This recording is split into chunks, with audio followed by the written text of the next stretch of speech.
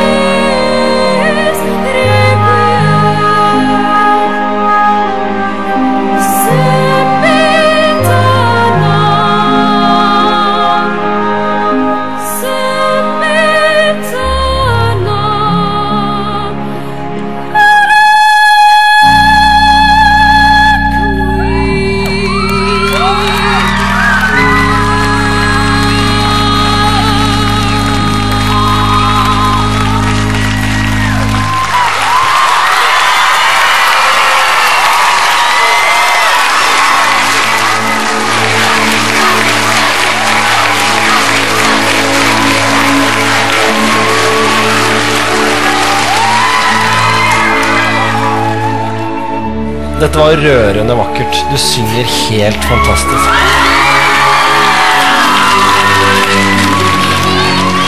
Jeg syns det var uh, veldig, veldig fint og veldig imponerende. Du synger jo helt glassklart. Det var liksom Det var veldig, veldig fint. Ja, en, en, en flott og klar stemme som har eh, en eh, fin teknikk. Videre eller ikke videre, Jan Fredrik? Et glitrende ja!